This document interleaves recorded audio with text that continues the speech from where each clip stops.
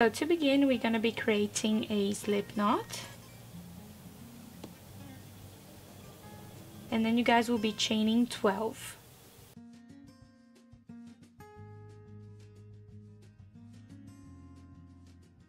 and then on the first chain that you find you're going to be creating a slip stitch. So now you're going to be chaining four two three four. And then on the same stitch on that same one you're to be creating your first double crochet. So on the one that the chain is coming out of so you're to be creating your first double crochet right here. So now you're to be chaining one.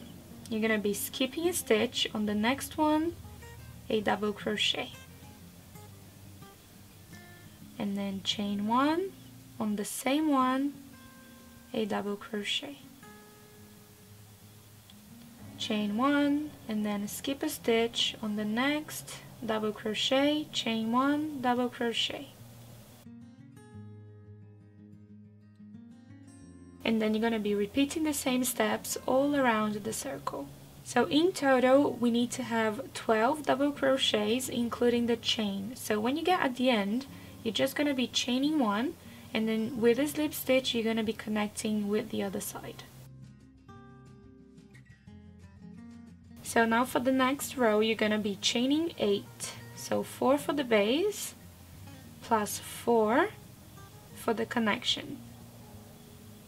So now we're going to be following the double crochets on the previous row and on each double crochets we're going to be creating our triple crochets. So to create the triple crochet you're going to be rolling the yarn three times on the hook and then you're going to find your next double crochet and then on that double crochet right here you're gonna be yarning over through all of the loops. So one two three four. So now you're gonna be chaining four. So that's for the connection between the triple crochets. So now we're gonna be creating the triple crochet. So roll the yarn three times on the hook. Find your next double crochet. On top of that we're gonna be putting our triple crochet. So yarn over all of the loops in the hook. This is basically what we're going to be doing. So you're going to be chaining four and then triple crochet on the next double crochet on the previous row. So now you guys are going to be continuing doing the same steps all around the circle. So when you get at the end, you're going to be chaining four and then you're going to be counting four stitches on this side. So one two three four. On the fourth one you're going to be creating a slip stitch. So every time you're going to be adding the row you're going to be chaining four. So that's what we're going to be doing. We're going to be chaining four now. So one two three four.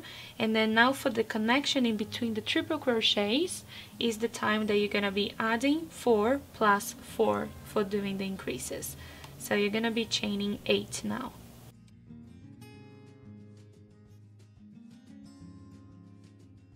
So now it's going to be exactly the same as the previous row, but of course we had on the first one, we had the double crochets. So now we're going to have the triple crochet. So we have to do the triple crochets on top of the previous triple crochets. On top of the previous triple crochet, you're going to be creating your triple crochet. So now you're to be chaining 8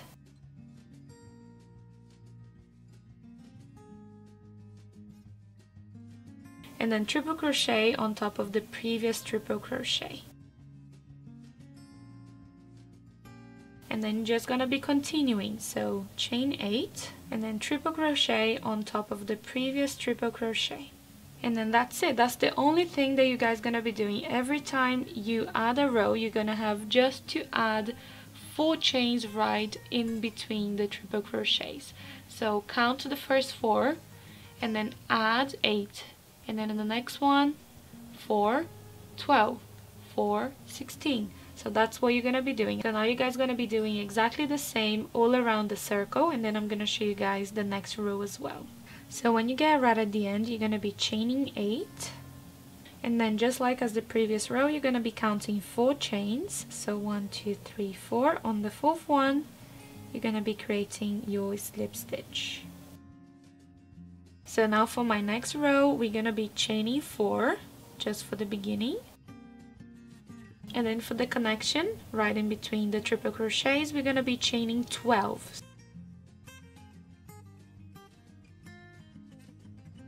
and then the same as the previous row we're to be doing the triple crochet on top of the previous triple crochet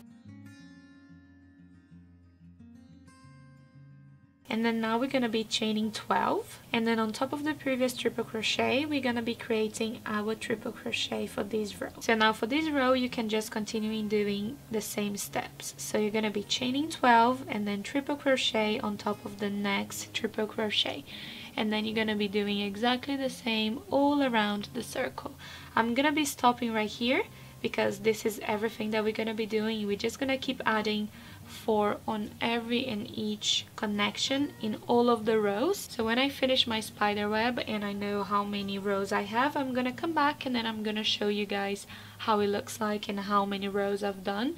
So for the first and tiny spider web, so for this one right in the corner, I've created only two rows as you can see of course including the circle but I'm counting the bigger the bigger rows so one and two so you want to have two of the tiny ones. So the medium ones has four rows as you can see. So one, two, three, four. And I've also done two of these. So I just finished my last row and the only thing that I have to do now is just fasten off. So now you guys can just weave all the yarn in the project and then you guys can just cut all of them off. So as you guys can see, I have finished my larger spider web and it has six rows. So in order for us to connect everything and to attach everything together, you guys will need to have all of the five spider webs completed. So I'm going to be attaching the medium one with the larger one and just make sure that when you're sewing them together, they are all on the reverse side. As you can see, this is my reverse and this is my reverse as well. So I'm going to be sewing right in the middle, in the corners of course, so on this side and on that side, which I did already. So what I'm going to do, I'm going to be following a line and then I'm going to be connecting with the medium one. And then as you can see, I'm going to be sewing from this point to this point. So to sew everything together, you guys will need the yarn needle and a little bit of the yarn as well, as you can see here just push through the loop in the needle and then just get ready to start sewing. So you will see that there is a back stitch right in the middle right here. There is the side ones there and then here. And there is one right in the middle. So I'm gonna be sewing from that middle stitch right here all the way across where I want to be um, sewing it together. You want to start right at the top. You want to choose a stitch. So I'm going to be choosing my last one as you can see and then right here you want to make a knot. And then you want to choose a stitch on the other side as you can see right here. And then you just want to sew them two together. So you don't really need to go through all of the stitches. You can just jump into let's say each three stitches. Is just to sew everything together so you don't have to worry about that so now you're going to be choosing one from this side and then another one from the other side. And then you're going to be sewing it together. And then again, so one from this side and then one from the other side. And sew them two together. And then you guys can just continue.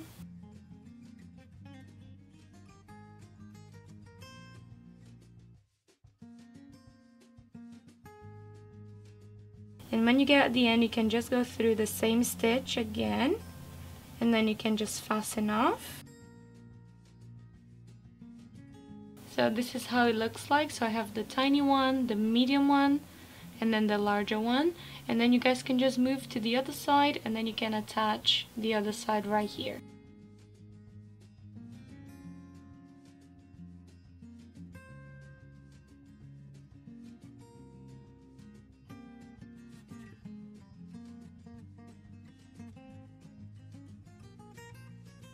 So this is everything that you guys gonna be doing. So I'm gonna be showing you guys just a close-up on how everything looks like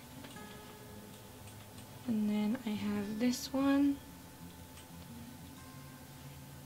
and then I have the other side. So this is how it looks like and this is basically the end. I cannot show you guys in the camera right now but I have some footage showing everything how it looks like but I really hope you guys enjoyed. It's something very easy and it's so nice because you just use the same technique to create all of the spider webs. You don't have to kind of like change for all of them. You're just gonna be making less rows if you need a tiny one and then you're just gonna be increasing all of the rows. If you want to make a larger one you can even make an even massive round spider web. If you have a round table that's gonna look really cool. So if you guys want to know exactly how many chains there is in between all of these i'm gonna leave in the comments below for the small ones for the medium ones and for the larger ones all of the rows is going to be explained in the description below if you guys want a more detailed explanation. This is just showing you guys the base which is this and then you can just increase to as big as you want just adding four stitches on each row that you're gonna be increasing basically. And I really really hope you guys enjoyed as much as I did making all of these Halloween tutorials let's begin with all the Christmassy tutorials and everything but I really hope you guys enjoyed. If you did please don't forget to give this video a massive thumbs up and also don't forget to subscribe to my channel to see more of my tutorials and I'll see you guys soon on my next video. Bye bye